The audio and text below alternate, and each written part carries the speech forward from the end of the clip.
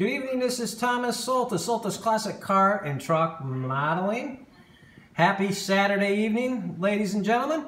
Here to give you an update on the 66 uh, Mercury, what I've been doing. We have some uh, color down on some parts and on the engine. So we'll uh, show you what we've been up to here the past few days with this. Let me move the box and show you.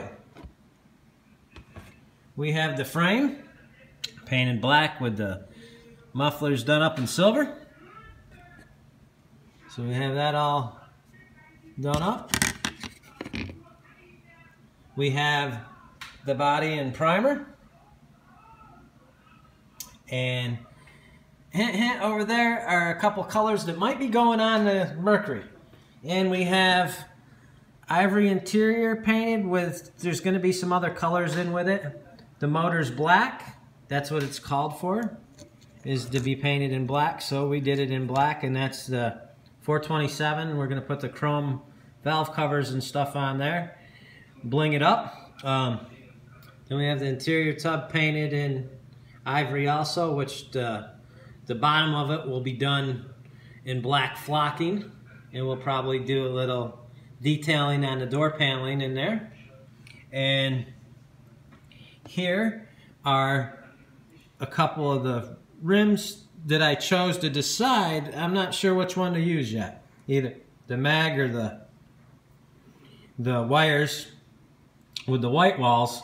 It depends what direction I'm going with this.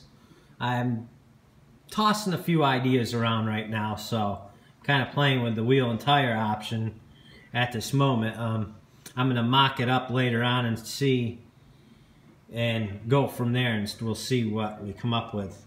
Um, but I just wanted to give you ladies and gentlemen a quick look at what's been going on at the bench here the past couple days, evenings actually.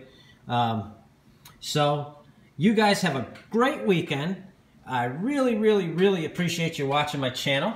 Um, God bless you and your families. I'm out of here. I got some more stuff I have to do. Um, talk to you guys later with another update probably in a day or two. Have a great weekend. God bless. And thank you so much for watching my channel. Bye, guys.